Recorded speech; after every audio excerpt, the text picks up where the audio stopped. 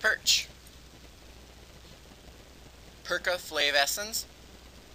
Um, this is just a little more information regarding the perch and our dissection of it. Um, the perch falls in the Animalia kingdom under the phylum Chordata. Um, the remaining class, order, family, genus, and species you can see here.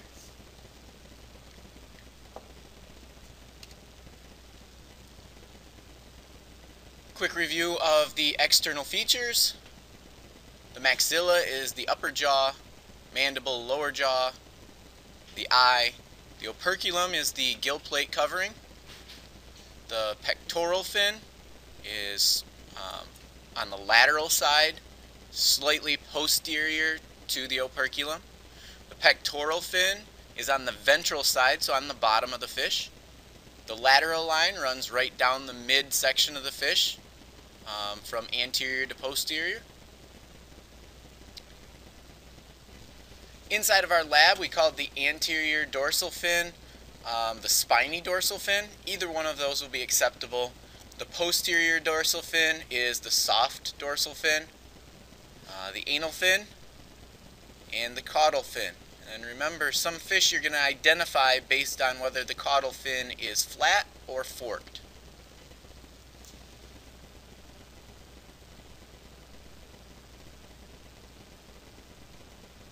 So we're going to identify a number of these different parts in the lab.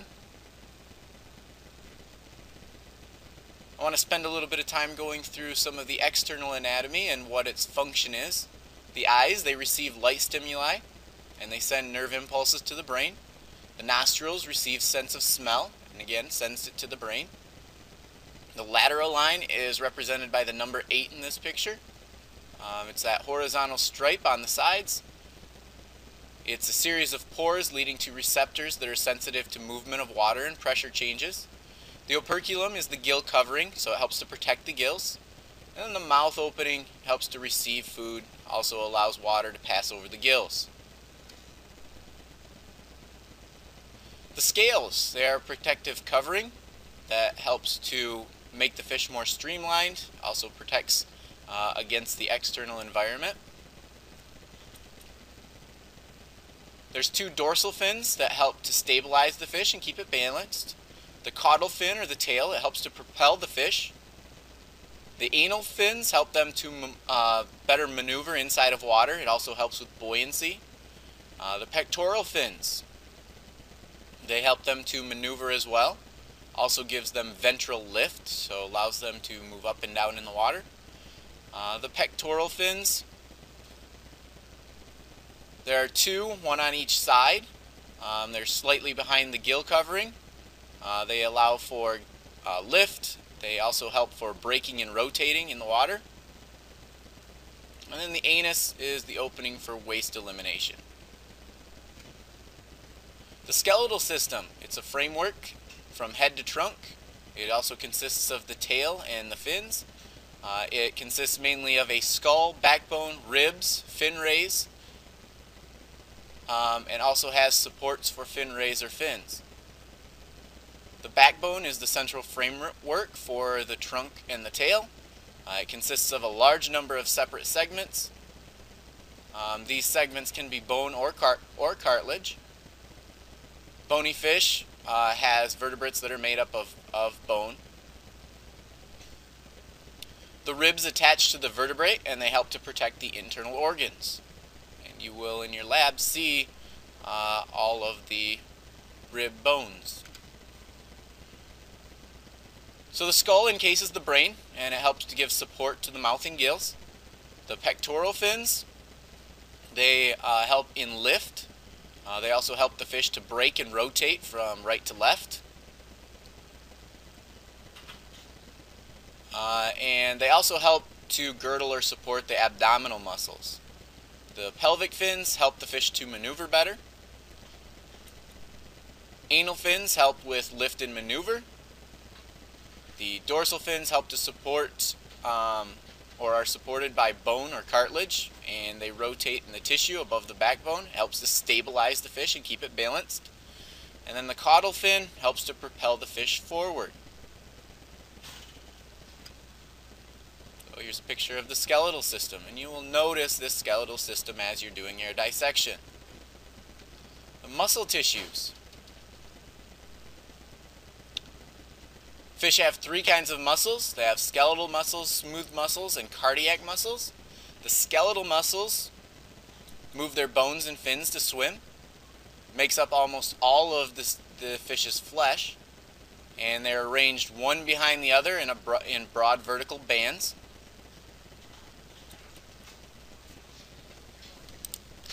The myomeres, they're easily seen if you uh, easily seen if you skin a fish. Uh, the, each one of them are controlled by a separate nerve that comes from the spinal cord. Uh, those myomeres um, help to uh, control the direction of the fish and they also help to bend the tail in opposite directions. Uh, the smooth muscles, they work automatically. They operate in the internal organs. And the cardiac muscles, they work automatically as well, and they form and operate the heart. Uh, the internal organs are grouped into various systems according to function. The respiratory, digestive, circulatory, nervous, and reproductive systems are the systems that we'll look at.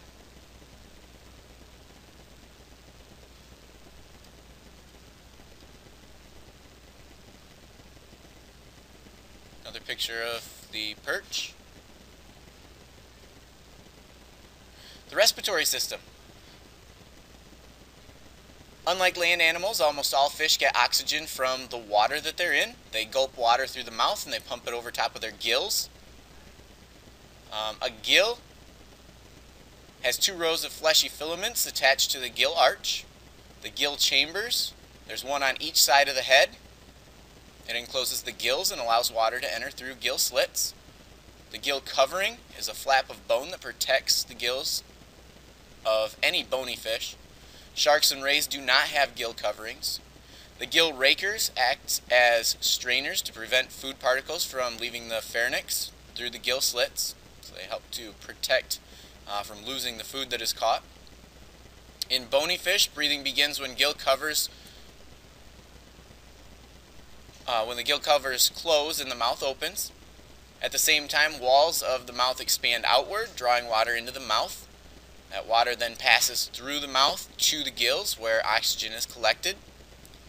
The gill filaments help to absorb oxygen from water and it's replaced with carbon dioxide during that breathing process so carbon di dioxide can exit the body.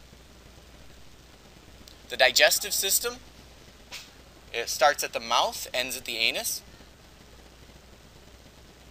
Um, takes in food to help nourish body cells and it helps to eliminate materials not used. The oral cavity consists of a jawed mouth. It also has a tongue and teeth for uh, catching uh, any food. Uh, teeth in fish are not used for chewing. They are simply used to keep prey caught inside the mouth. The pharynx also contains some teeth uh, it's a short tube that connects the, connects the mouth to the esophagus. The esophagus is the tube that connects the pharynx to the stomach, um, and it is used for swallowing food whole. And then the stomach partially digests food.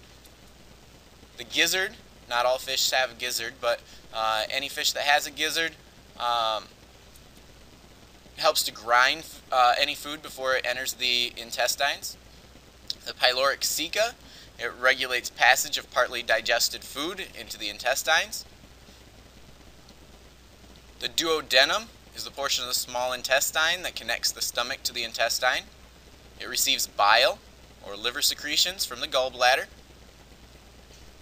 It's the first bend in the um, in the digestive tract right after the stomach. The intestines, they complete the digestive process by absorbing nutrients into the bloodstream and then waste and undigested food uh, is passed out through the anus. The liver secretes bile to help food digest. And in sharks, oil helps with buoyancy as well that comes from the liver. So these pictures might help you to identify a number of parts inside of your fish as well. The urinary system consists of the kidneys and the urinary duct. Helps to remove, remove waste from the blood also eliminates waste through the anus. And uh, in fish, this opening is for urine and feces, so it's a urogenital pore. Uh, the urinary bladder. It collects and stores urine for elimination. So again, this picture might help you to identify some of those parts as you do your dissection. The circulatory system. Circulatory system consists of the heart and the blood vessels, helps to distribute blood to all parts of the body. The heart consists of two main chambers, the atrium and the ventricle. Uh, blood flows through veins to the atrium and then into the ventricle. Muscles in the ventricle pump blood through the arteries to gills, where blood receives oxygen and gives off carbon dioxide. The arteries then carry blood throughout the body. The oxygenated blood is carried throughout the body. Um, blood carries dissolved nutrients from food. Uh, that nutrient has picked up in the, in the intestines. And it also, again, carries oxygen from the gills and carries away waste products from the cells. The kidneys help to remove waste products from blood, which returns to uh, the heart through the veins. The nervous system. Nervous system consists of the spinal cord, the brain, and the nerves. It's not nearly as complex in fish as it is in the mammals or the higher vertebrates. you can spend some time exploring the nervous system. It is a little bit tricky to get the uh, get the incisions made in the top of the uh, the head to be able to see the brain. Um, this picture kind of shows a really good representation of that. If you would like to spend some time exploring those parts, you are perfectly uh, welcome to. The spinal cord consists of soft nerve tissue. It runs from the brain all the way down the backbone and then branches out to the nerves. The brain is an enlargement of the spinal cord and it's enclosed in the skull. It's used for sensing and responding uh, anything that happens in the environment. The olfactory lobe is the big part of the brain and it's devoted to the sense of smell.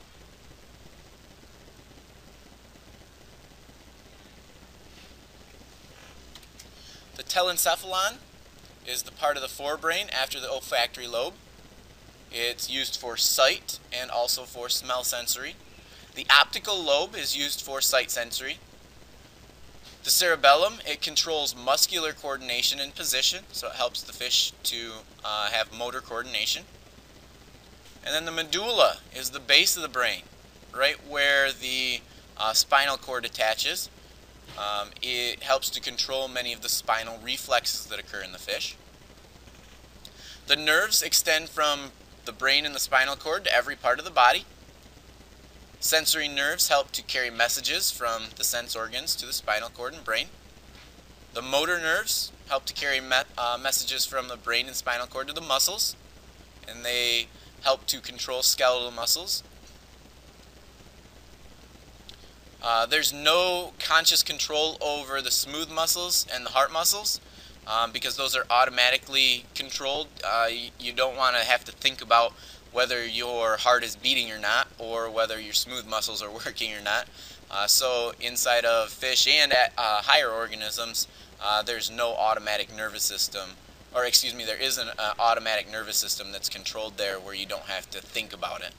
Uh, the lateral line it's that, again, horizontal stripe that runs on the sides of the fish, has a tiny uh, series of tiny pores that lead to receptors that are sensitive to mechanical movement and sudden pressure changes in the water. The reproductive system.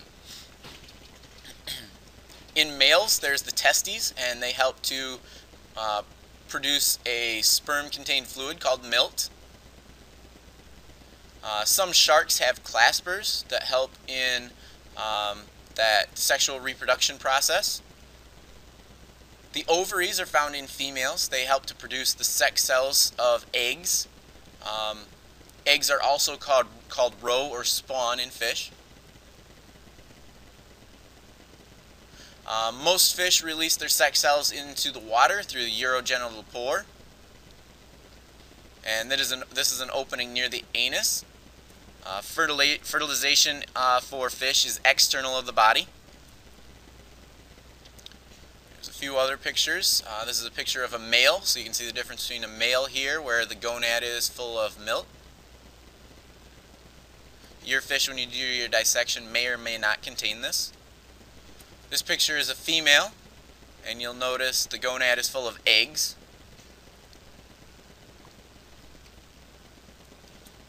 There are some special organism, uh, organs of bony fish. The swim bladder is one. Um, this helps to promote buoyancy in the water. It's filled with gases uh, that are produced by blood. And it helps to maintain the depth that the fish hangs out in. Uh, the lungfish and a few other fish, um, they actually have that as a, as a structure that serves in air breathing. Um, so catfish are an example of this. They may store uh, oxygenated gas inside of that uh, air bladder where they can kind of live outside of water for minimal amounts of time. So as water pressure increases with depth, fish are going to uh, adjust the amount of gas that is found in there.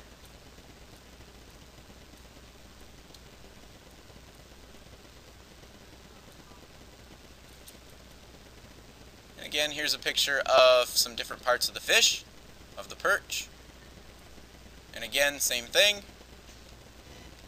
And finally, this slide gives you a number of the different structures along with their function. This slide may be helpful to you in the future as you come back and review some of the different parts of the fish.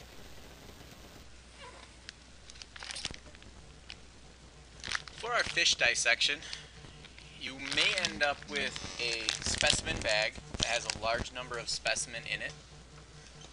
If that is the case, please make sure to open it up just far enough that you can take out your specimen that it, uh, you are going to be dissecting. Uh, so in this case, we want to take out just the fish. Uh, and in our lab manual, uh, it shows um, a, a yellow perch. We are actually going to be using a white perch. The the anatomical structures are going to be exactly the same. Uh, but you will notice that the, the organism looks slightly different from the picture. Um, so it, it, it may throw you for a loop there, but not to worry, all of the uh, structures that make up that organism are exactly the same. So prior to beginning this lab, please make sure that you have on a pair of protective safety gloves. Uh, please make sure that you have an apron on covering up your clothing. and also appropriate eye protection.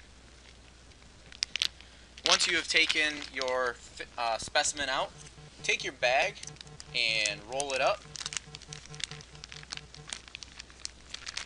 And then place your specimen bag with the remaining specimens inside of another Ziploc bag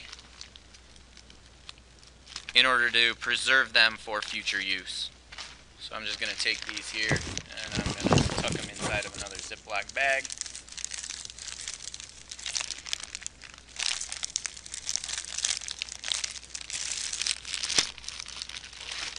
And they will stay in good shape for future use.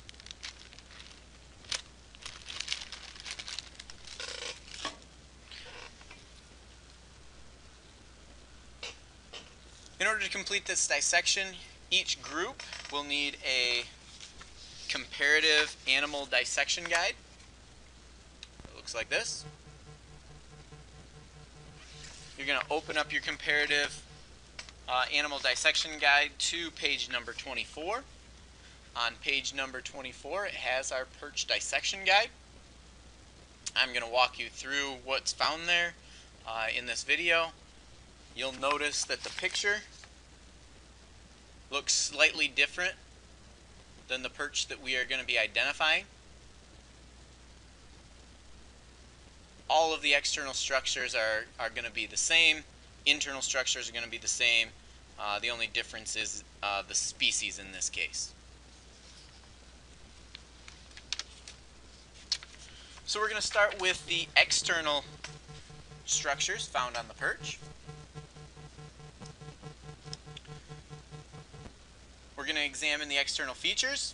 We'll identify the spiny and soft dorsal fins, the pectoral fins, the pelvic fins, the anal fin, the caudal fin, we'll, and we'll also describe the function of each of these in the following uh, PowerPoint presentation.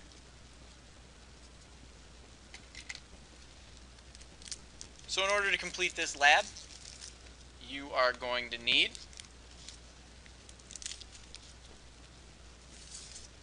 a scalpel,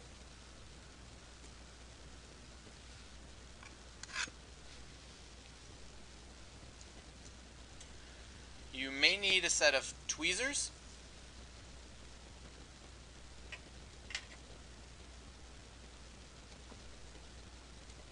You will need a number of pins in order to fasten your organism down.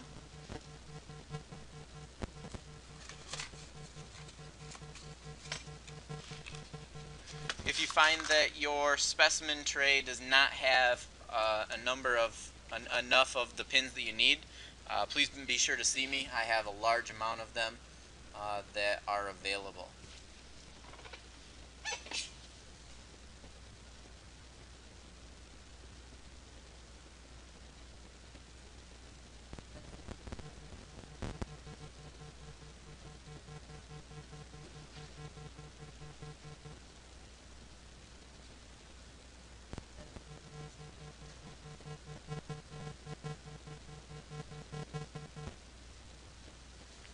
May also need a magnifying glass,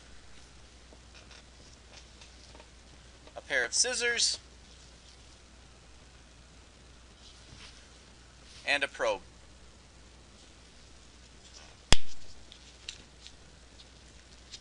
And again, if your dissection tray does not have any of these uh, utensils or tools that you may need for your dissection, uh, please see me and I'll be sure that you get what you need for this project.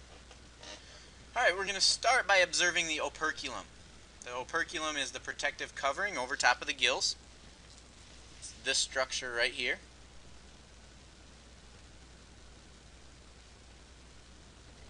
We're going to pull the operculum open and we're going to view the gills.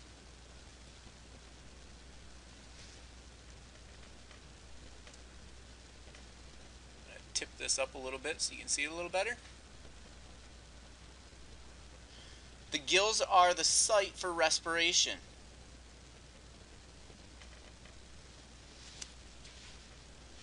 The nostrils. Nostrils are here.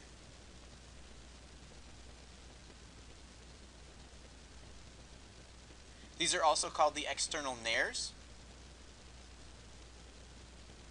They are at the anterior end of our specimen, and they are superior to the mouth.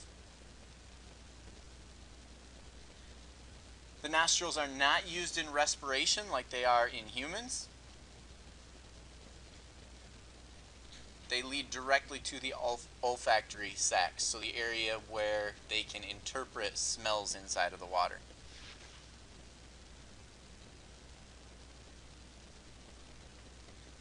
Observe the eyes. Eyes are not protected by an eyelid.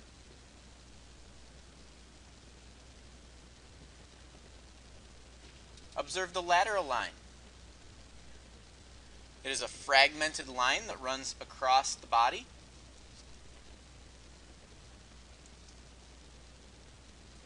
It is a structure that detects vibrations in the water.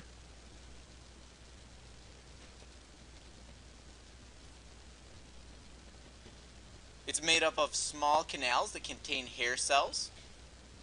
And when those hair cells move,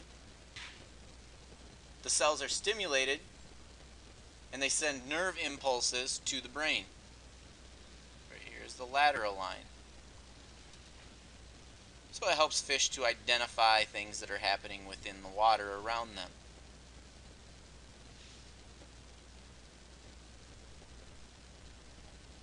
The body is covered with protective scales.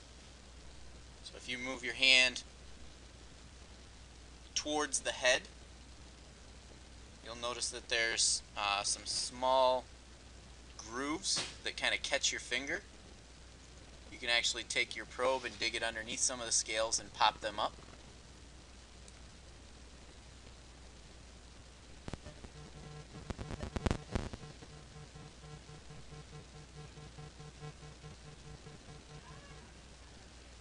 Right there is a scale.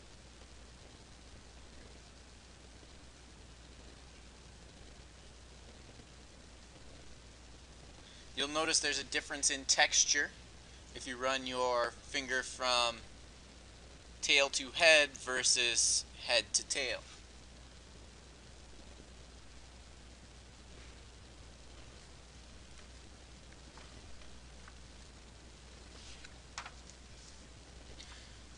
The tongue is found inside the mouth. May have to uh, snip the opening right here towards the hinge of the jaw in order to actually see inside. There's also a thin row of teeth that run both on the top and the bottom of the mouth. It's almost like sandpaper. You can run your finger across it and feel it. The spiny dorsal fin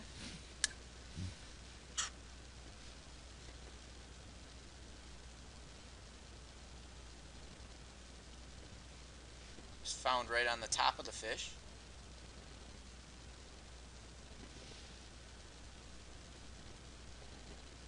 The soft dorsal fin is found right behind that. You'll notice there are large bone projections, bone-like projections coming out of the spiny dorsal fin, and they are absent in the soft dorsal fin.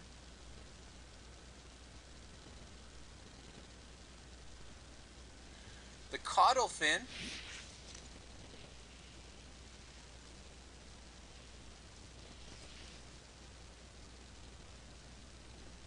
you will notice that on a number of different fish species that you identify in our salmon lab, some fish have um, a V'd caudal fin, whereas other ones have just a straight flat caudal fin.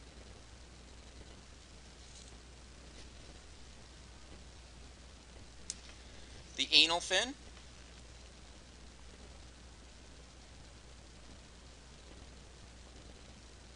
is found on the ventral side of the fish.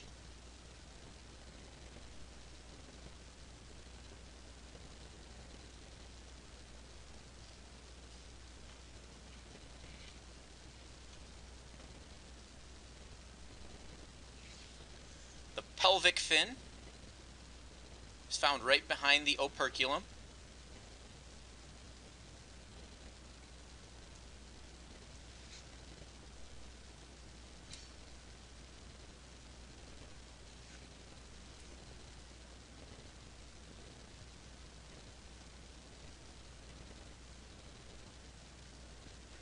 And the pelvic fin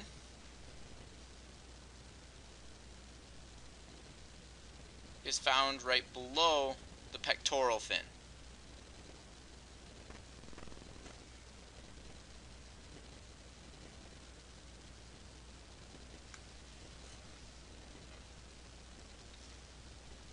That is the extent of the exterior structures that we are going to need to look at. The remainder of the dissection will involve actually opening up our fish.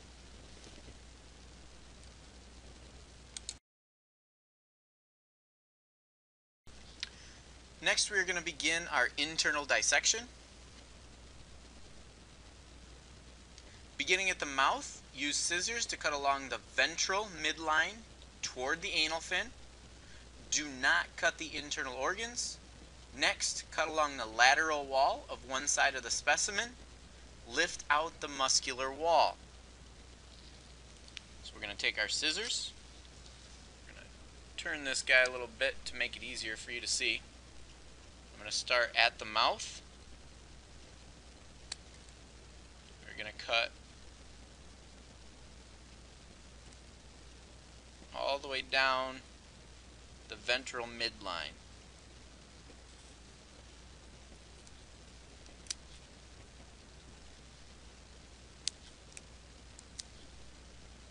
We're going to be really careful when we get right here because we do not want to damage any internal organs.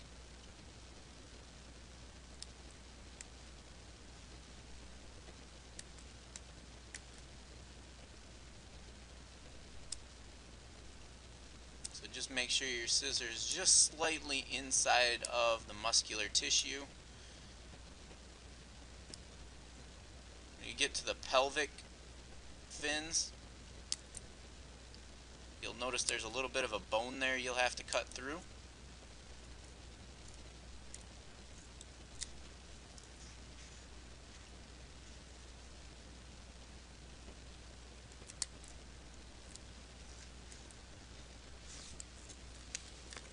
may need to take your scalpel and slowly make an incision in order to break open the chest cavity.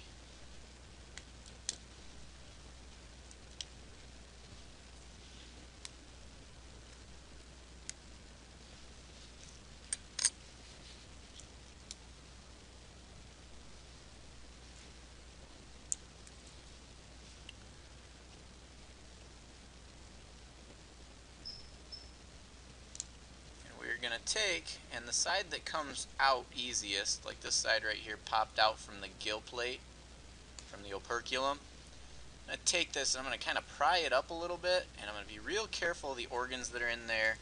You'll notice that there's a thin membrane in here you need to kind of cut away. Go ahead and cut that away, and then lift the wall right up, and then take your scissors and cut the lateral wall right away. So I'm going to go right up behind the back edge of the operculum. I'm going to cut this entire wall right away. And you'll actually cut through uh, some bones that are uh, part of the rib cage. You should be able to just cut it right out.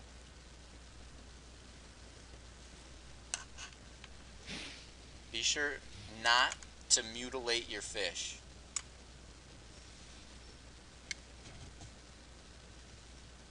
Okay, so now we can see the internal structures of the fish. First we want to locate the swim bladder.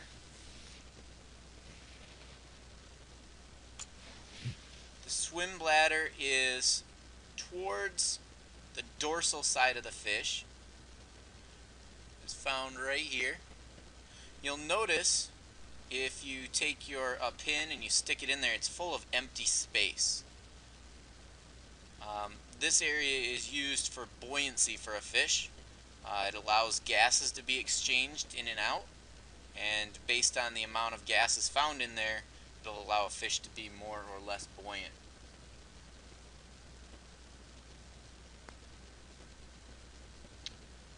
Some of the preserved specimens will have a deflated swim bladder, so it may be a little bit harder to find that. This one's actually full of fluid, so it was kind of kind of puffed up a little bit.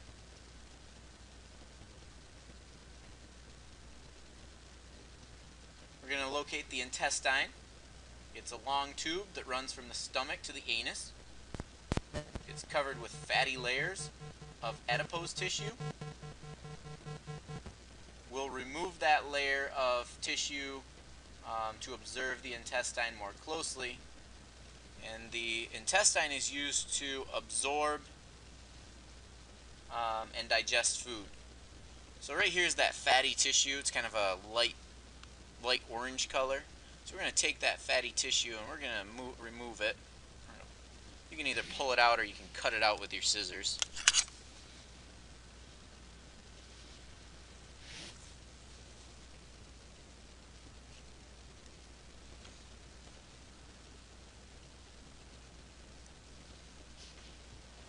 You'll notice when we get to our frog dissection that there's similar structures inside of frogs, similar fatty tissues.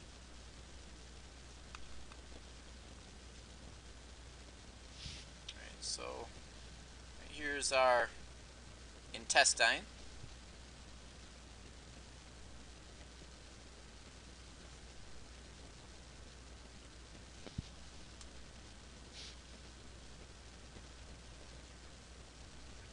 It's kind of folded up in there nicely. You can cut a little bit of this membrane away to help us see it better.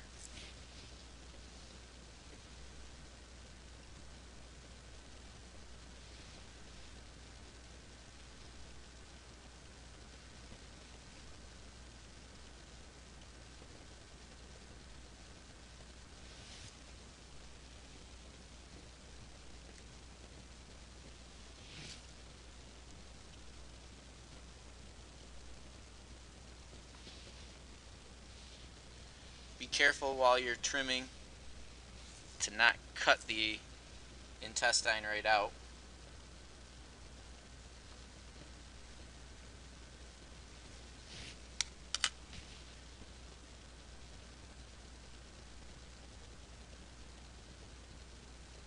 Sometimes it's difficult to distinguish the stomach, the stomach from the accessory digestive organs.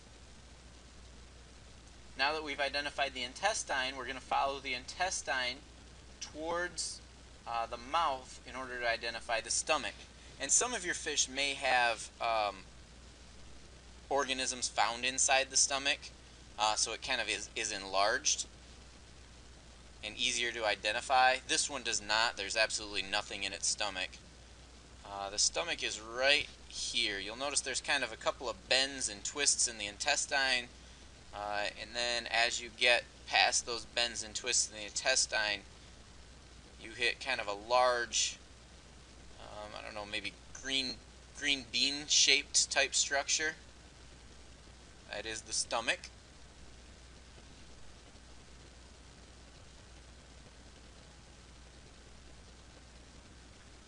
We'll lift the stomach up to locate the digestive glands called the pyloric ceca. They're finger-like glands and they release digestive enzymes into the stomach. Lift it up. You can see them. Let's remove this fatty tissue. Right here is one. Here's another one right next to it. And then there's another one, a smaller one that's uh, attached to that fatty tissue. See each, each one of them.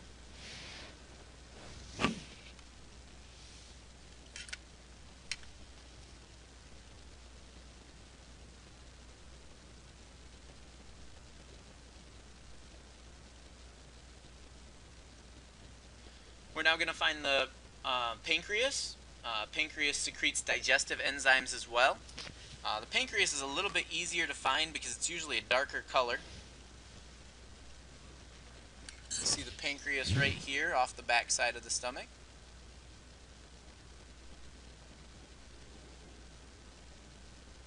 So again, it releases digestive enzymes.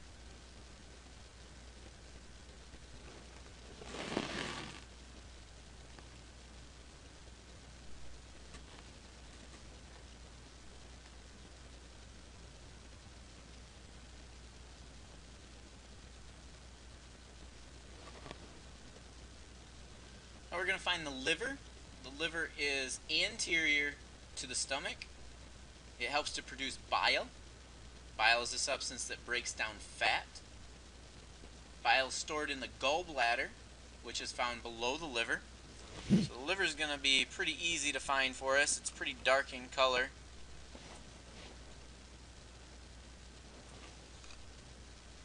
It's up anterior to stomach see it right here.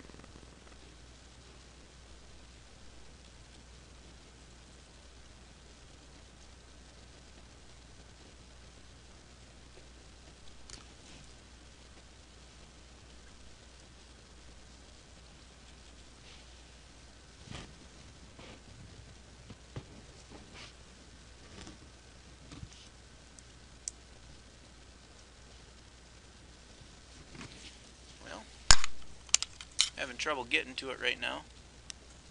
I got the heart right there. Having trouble getting to the liver.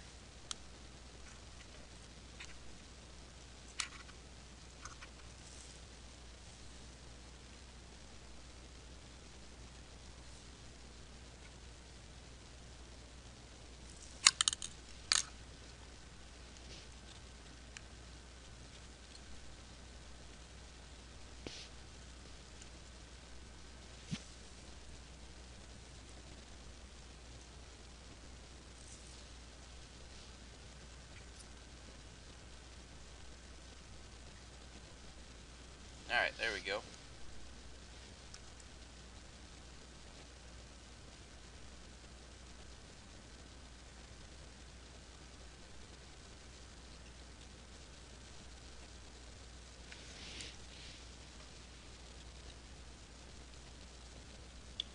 The heart can be found closer to the head region. Fish have a two-chambered heart that pumps blood through a closed circulatory system. Blood enters the auricle and is pumped back out through the ventricle. Heart is found right here.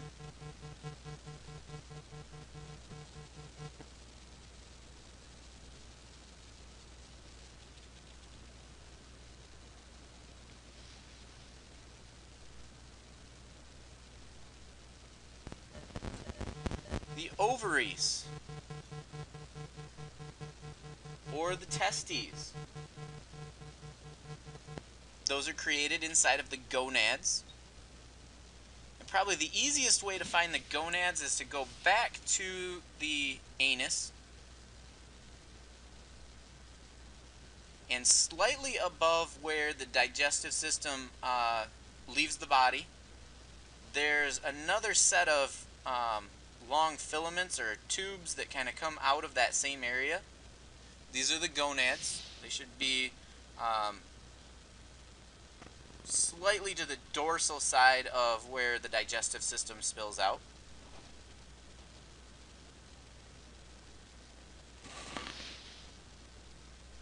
So again, the gonads uh, for females would produce eggs. And for males, it would produce milt, which contains the sperm. Uh, some of your fish you may end up finding actually have egg masses inside of the ovaries.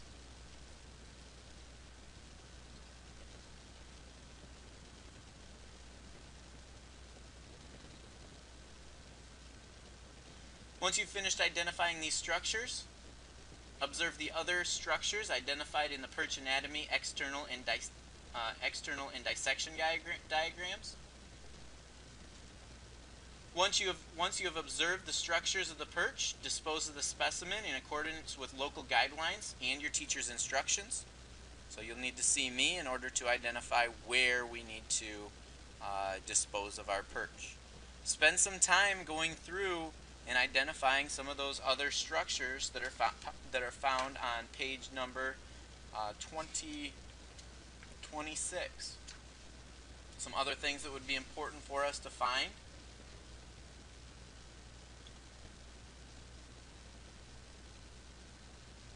Would include the urinary bladder, the cerebellum, the gill rakers, the gill filaments,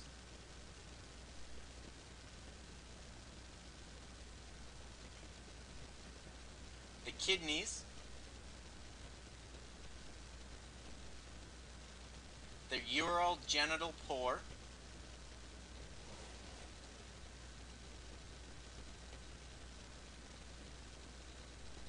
the large intestine,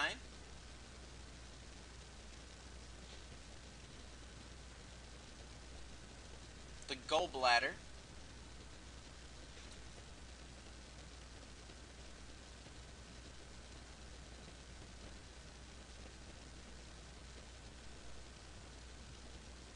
And I believe that'll do it for what we need to identify within the fish.